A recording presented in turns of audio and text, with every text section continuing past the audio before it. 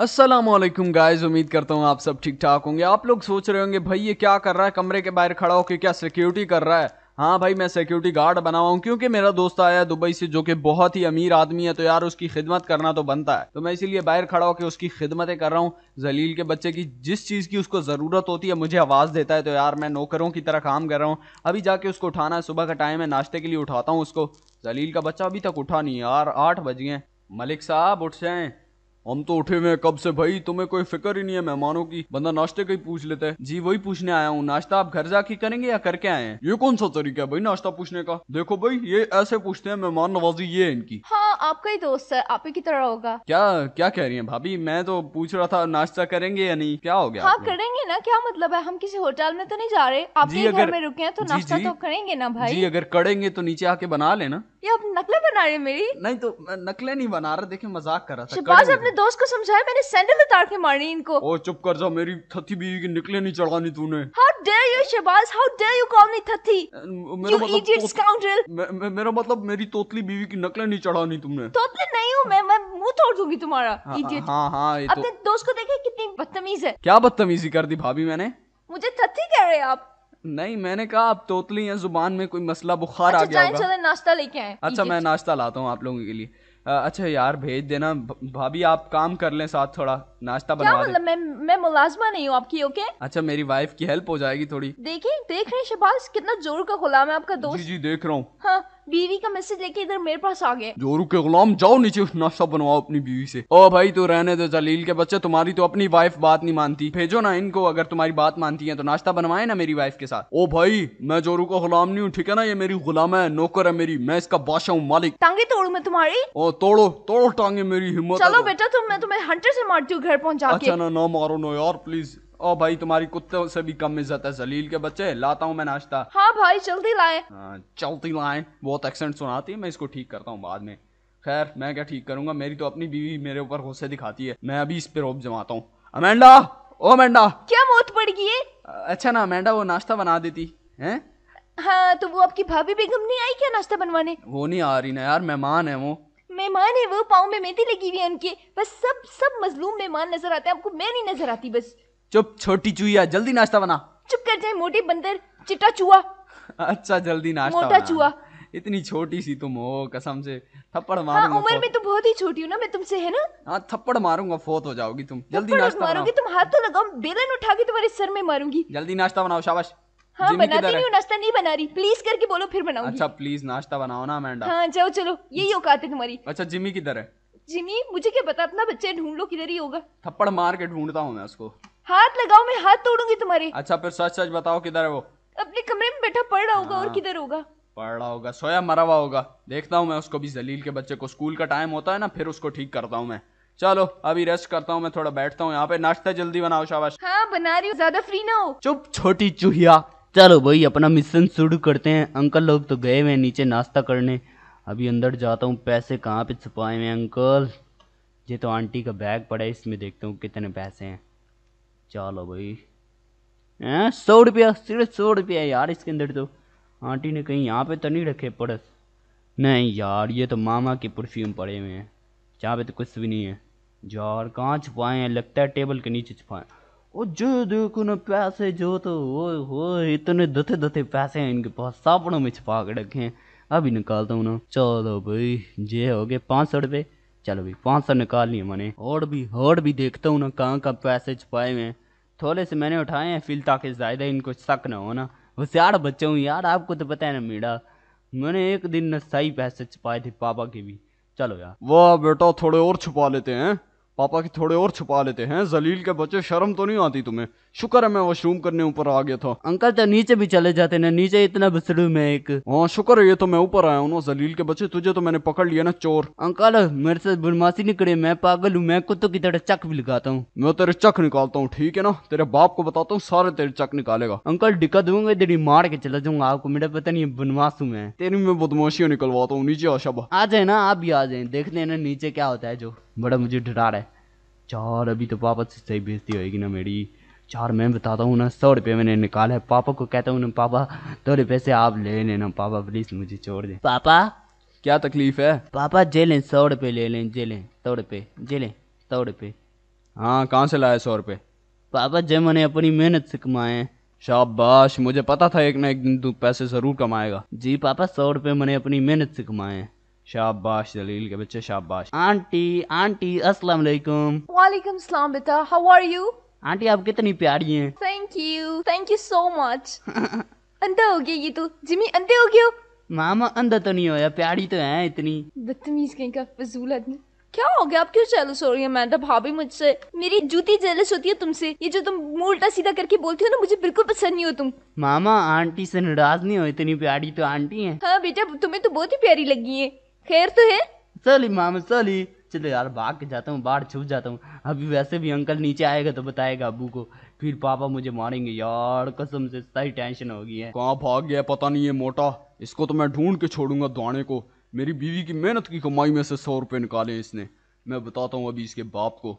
इसके बाप को भी ठीक करता हूँ, उसने भी तमाशा बनाया हुआ सही जलील करवाया हुआ हमें। ओए, बात सुन मेरी, क्या भाई तमीज से बोलो, ठीक है ना? आप यहाँ पे आए हुए हो, अब मुझे पता चल गया, आपके पैसे शैसे नहीं है, सारे पैसे आपकी बीवी के हैं। जो भी है, मेरी बीवी के पैसे हैं तो इसका मतलब तू अपने बेटे से चोरियाँ करवाएगा? क्या बकवास कर रहा है? मेरे बेटे से क्या चोरी की है मेरे बेटे ने? उसने अभी अभी दो सौ रुपये पूरे निकाले हैं मेरे बटवे में से, मेरी बीवी के बटवे में से, हैं? हाँ अभी अभी निकाल के गया, झूठ नहीं बोल रहा। अच्छा तो वो सौ रुपये जो उसने मुझे दिए हैं वो तेरे पैसों में से ही निकाल के दिए हैं। तो और क्या उसकी कोई फैक्ट्री है? और सौ रुपए तो आजकल बच्चे बच्चे बच्चे के पास होते हैं। तेरे पास हैं? दे। नहीं नहीं, मेरे पास तो नहीं है ना, बच्चों के पास होते हैं ना। जलील के बच्चे शाबाश, पैसे वापस कर, नहीं तो मैं पुलिस में केस करूँगा सौ रुपए का। ठीक है ना? तुझे पता नहीं है मैं कैसा गैरत आदमी हूँ हाँ। हाँ वो तो देख के लगता है बेशरम आदमी। शक्ल तेरी इतनी नहुसत वाली है। चुप कर जा, बकवास नहीं कर। ठीक है ना? मैं अभी अपनी बीवी को लेके जा रहा हूँ यहाँ से। हाँ हाँ जाओ, हमें भी कोई शौक नहीं है तुम्हें रखने का। आ जाओ। चलो डार्लिंग चलें। इधर कोई हमारी इज़्ज़त नहीं है। हाँ हाँ मैं तो पहले ही कह रही थी किसी होटल में रुकते। आप ही को शौक था अपने दोस्त के यहाँ रुक के पैसे बचाने का। हाँ। हाँ पैसे तो बच गए ना सौ रुपया लेकिन फिर भी चोरी हो गया। एक चोर ने छुपा ली है। अच्छा कोई बात नहीं आप तो ऐसे रो रहे हैं जैसे बड़ी मेहनत से आपने कमाया हो हर हराम इंसान। हम्म, आ जाओ आ जाओ तुमने तो मेहनत से कमाए थे ना। आ जाओ चलो भाई आ जाओ। चले कोई इज़्ज़त नहीं है यहाँ पे हमारी। ये खड़ा चोर ये खड़ा ये खड़ा चोर ये खड़ा। अंकल मुझे हो? मार क्यों रहे हैं बच्चे को? मुझे चलो जाओ डार्लिंग आ जाओ। चोर हैं ये चोर चक्के। हाँ हाँ चलो चलते हैं। लुटेरे लोग हैं ड्राइवर भी नहीं है ड्राइवर को भी मैंने भेज दिया इस माइकल पे अंधा एतबार कर लिया हमने। आ जा लुटेरी तू भी बैठ। तमीज से बात करो मुँह तोड़ दूँगी मैं तुम्हारा। अच्छा ना तू तो नाराज़ ही हो जाती है। ये तू तो क्या होता है? आप तो नाराज़ ही हो जाती हो मालकिन। तुझसे हाँ, शादी ऐसा करना ना मेरी ज़िंदगी फिर तुझसे। वो वो गाड़ी से निकाल देना मैंने तुम्हें। इडियट अच्छा ना एक तो इतनी लंबी गाड़ी है इससे अच्छा बस ले ले तू। आप बस ले लो। तुम जैसे चपरासी रखने से अच्छा है ना मैं किसी और को हायर कर लूँ। अच्छा ना शोर हूँ मैं तुम्हारा चपड़ासी नहीं हूँ। एक ही बात है। कॉस नहीं करो ठीक है ना? अब खुद देखो मुझ जैसे खूबसूरत नौजवान लड़की का शोर तुम जैसा बुढ़ा बदसूरत आदमी। ऐसे एक्सप्रेशन देने भी भूल जाते हैं मुझे। एक्टिंग नहीं किया करो ओवर आज तुम्हारी जो इज़्ज़त की है ना माइकल लोगों ने कसम से तुम्हारी भी बहुत अच्छी इज़्ज़त की है हाँ, तुम्हें घर से बाहर निकाला है डंडे मार मार की जो मैं खुद निकला हूँ ठीक है ना? मैं तुम्हारी तरह बेगैरत नहीं हूँ। हम्म जरा जाके तीली तो लगाऊँ ना। बस पता चल गया कितना अच्छा दोस्त आपका। हाँ हाँ पता चल गया। अब दिमाग नहीं खराब करो यहाँ पे। दिल नहीं जलाओ मेरा। आपका तो दिमाग पहले ही खराब है। कितना सोच रहे थे कि मेरा दोस्त मुझे तोहफे दे के जाएगा पैसे दे के जाएगा। लानत फेर के गया आपके मुँह पे वो। हाँ मैं जैसा सोच रहा था वैसा नहीं निकला लेकिन क्या दोस्त था ना मेरा? बस ठीक है। बात खत्म। बस अब नहीं रहा बात खत्म। हाँ नहीं रहा बस ठीक है? नहीं चाहिए मुझे ऐसे दोस्त। हाँ आपको तो नहीं चाहिए ना ऐसे दोस्त। मुझे खाने पकवाने हैं रोज। चलो यार अभी तक तो अंकल ने बता भी दिया होगा पापा को और पापा सही गुस्से में होंगे। चलो जब तक पापा और मामा की लड़ाई होती है गुस्सा शुस्सा उनका ठीक होता है मैं निकल के जाता हूँ बाहर। झाड़ अब तो मैं कमाई करने लग गया हूँ ना। पाँच सौ रुपया देख अंकल की जेब से मारा है मैंने आज। झाड़ इतना बड़ा आर्टिस्ट बन गया हूँ इतनी कमाइयाँ करता हूँ। अभी छुप के आ गया हूँ। पापा मेरी कुट लगाएँगे। जब पापा को पता चलेगा ना कि मैंने बंदे के पैसे चोरी किए हैं, झाड़ पर सौ रुपये तो उनको भी दिया ना, उनको मारना नहीं चाहिए मुझे। चलो यार, अभी चलता हूँ शोरूम मामू को कहते हैं, कुछ बिरयानी बिरयानी खिलाएँ यार मामू। थोड़े पैसे भी मामू को भी देंगे यार। मामू का भी हक बनता है ना। आज मैंने पहली बार ज़िंदगी में कमाई की है, उनका भी हक बनता है ना। चलो भाई। वो तो कहते थे बिसड़ेंगे ना, हम कभी काचे क्या ओ गो डेकुटे डेकुटे। ओ डेको ना मेरे स्टंट। देखे फिर कैसे स्टंट एक दिन कल मेरी टक्कर हुई है और मेरे मुँह पे जो लगे ना, मेरा मुँह सूज गया था। मेरे टिंड के बालों पे भी लगी है सही ज़ोर ज़ोर की। चलो यार वो जो कहते थे बिछड़ेंगे नाम कभी। हेलो टिटिट मामू मामू, फ्रैंकलिन मामू। अस्सलाम वालेकुम चलो भाई मैं जल्दी से उतर जाता हूँ। बाइक से। ये तो ड्राइवर चाचू खड़े हैं। फ्रैंकलिन मामू नहीं आए क्या? क्या हुआ बेटा? आजकल बहुत स्टंट कर रहा है। बाप को बताऊँगा मैं तेरे। जा, चाचू मैंने कौन से स्टंट किया था? अभी मैंने देखा तू टांगे उठा रहा है पता नहीं क्या क्या कर रहा है। वो तो मैं ऐसे उतर रहा था ना नीचे। हाँ बहुत अच्छा बेटे मरेगा किसी दिन ठीक है ना? चुप करें बाबा जी। यही आजकल की नस्ल। देखिए स्टंट कर रहा है लोफर गिरिया करते हुए मर जाएगा इसका हैं को बेटे? बेगैरत आदमी है ये कोई। चार मैंने कुछ नहीं किया मेरे मामू किधर है आप लोग बताएँ। ऊपर खड़ा ऊपर खड़े बेटे काला मामू कोई काम करता ही नहीं ऊपर बस हडहरामू की तरह बैठा होता है। जाल ऐसा नहीं कहे मेरे मामू मेले प्याले आले फ्रैंकलिन मामू मामू मामू किधर है? मामू मामू किधर है? यार मामू किधर चले गए? मामू ओ करे ना मेरे मामू। अस्सलाम वालेकुम मामू। वालेकुम सलाम यार देर कर दी जिमी बेटा आने में। वो मेरे सर में दाढ़ हो रही थी ना थोड़ा। और स्कूल नहीं गया तू आज? स्कूल वो पापा ने छुट्टी कराई है ना वो उनके दोस्त आए हुए थे चले गए वो। हाँ अच्छा चला भी गया यार। हाँ। तो तेरा बाप तो कहता था इनाम दे के जाएगा हमें पैसे और कुछ भी नहीं दिया उनका जो बैग आप ढूंढ के लाए थे ना उसमें इतने पैसे थे ना मैंने पाँच से छुपाए। ओ बस पाँच सौ बेटा। और कितने छुपाता? बस न पील मुझे उन्होंने दपड़ भी लगाए दो। बेटा ज़िंदगी में जो है ना हमेशा बड़ी सोच रखनी चाहिए। इतनी छोटी सोच है तेरी पाँच सौ का नोट चोरी करके ले आया तू। जाल दूसरे नोट में निकाला था ना पीछे से आ गए दपड़ मारे ने मुझे। ओहो पकड़ा गया? हाँ ना तो पकड़ के दपड़ मारे मैंने भी पाँच सौ फिर भी नहीं दिए। तो फिर अब तेरे बाप को पता? पा, पापा को पता है ना वो आएँगे फिर वो अलग दपड़ मारेंगे ना। ओहो हो फिर आप मुझे बचाना ठीक है ना? आप कहना कि इसके पास गलती से पैसे आ गए। हाँ ठीक है। चलें ठीक है ना अभी हम जाते हैं ना बाहर खाने खा के आते हैं। चलो ठीक है। चले आए ट्रीट तू देगा। यार मेरे पास पैसे इतने जायदे नहीं है ना। पहली कमाई है जिमी तेरी ज़िंदगी की तेरे मामू का हक नहीं होगा क्या उस पे? ठीक है आपका भी तोला हक बनता है पचास रुपए। थोड़ा नहीं ना बेटा सारा हक मेरा है। अच्छा चले ठीक है ना यार बिलाएँ चलें बाहर खा के आते हैं। आपको ना मैं स्टैंड भी दिखाऊँगा। हाँ हाँ आ जा दिखा स्टंट मैं आ रहा हूँ। जल्दी आए ना। चलें मामू अब वापस चलते हैं। हाँ बेटा बड़ा मज़ा आया कसम से यार बर्गर तो बड़े मज़े का था। जी जी मुझे भी बड़ा मज़ा आया कसम से जो तो मज़े का बर्गर था कसम से बच्चों की हक लाल की कमाई खाने का ना मज़ा ही अलग है। हाँ ना तो फिर यही तो मज़े है ना। खैर जलील के बच्चे ने बेइज्जती करवा ही दी एंड पे आके। मैं सोच रहा था जिमी और कोई अच्छी हरकत कर ले। जलील का बच्चा चोरी की है सौ रुपए की चोरी की है। करनी है तो ज़्यादा चोरी कर जलील आदमी। और उसको देखो ना शहबाज को सौ रुपए के पीछे बच्चे को मारने लग गया जलील आदमी। उसे भी मैं ठीक करता हूँ पैसे कमाता हूँ ना मैं। शहबाज, बड़ा मलिक साहब बना हुआ है। ठीक करता हूँ, मैं भी इतने पैसे कमाऊँगा ना। गाड़ी ठोक के जा जलील के बच्चे। और इस जिमी को भी मैं सेट करता हूँ, चोर आदमी, मेरी नाक कटवा दी है। जलील का बच्चा सौ रुपये निकाल रहा है। निकालने ज़्यादा पैसे निकाल के ला। मेरे पास ला, मैं यार इससे होशियार आदमी हूँ। मैं निकालता ना, सारा बैग लूट लेता। और शहबाज को देखो ना, सौ रुपये के पीछे बच्चों को क्या क्या बातें सुनाई हैं। बच्चे को छोड़ो यार, मुझे सुनाई है। बच्चे को सुनाता तो फिर भी और बात थी, मुझे नहीं फ़र्क पड़ता। लेकिन आके कह रहा है, जी, तुम चोर हो, तुम्हारा तुम्हारा बाप भी चोर है, तुम्हारा खानदान भी चोर है, तुम्हारी बीवी भी चोर है। ऐसे कह रहा था। मेरा तो दिमाग घूम गया, मैं तो कसम से उसे मार देता। पर क्या करूँ यार, अमीर आदमी उसके साथ बॉडीगार्ड थे इतने सारे, फिर मुझे थप्पड़ वप्पड़ मार देते। इसीलिए मैंने छोड़ दिया, लेकिन बाद में नहीं छोड़ूँगा उसको। नील का बच्चा सौ रुपये के पीछे ऐसे बकवास करके चला गया मुझे। सौ रुपए तो मैं भीख में मांग के ले आऊँ। सही गाड़ी की तबाही कर दी है। मैंने भी आज ठोक ठोक के टेंशन हो जाती है यार मुझे। ये खड़ा हुआ है बाबा इसको फ्री की तनख्वाह दे रहे हैं हम लोग। ड्राइवर की खातिर जलील का बच्चा लेके आ गया इसका होने वाला ससुर है ना इसी वजह से। हाँ जी चाचा जी क्या काम किया आज? बेटे काम तो बहुत किए थक गया हूँ। हाँ काम क्या किया गाड़ियाँ तो है नहीं शोरूम में काम क्या कर रहे थे? बेटे शोरूम की सारी झाड़ू दिलवाई है मैंने ट्रेवर बेटे से। अच्छा ड्राइवर बेटे से दिलवाया तो आपने क्या किए? बेटे मैंने चाय पी इतनी मुश्किल से। मैं थप बाबा जी मैं आपका लिहाज करता हूँ तमीज़ से रहा करें। बेटे काम इतना किए हमने।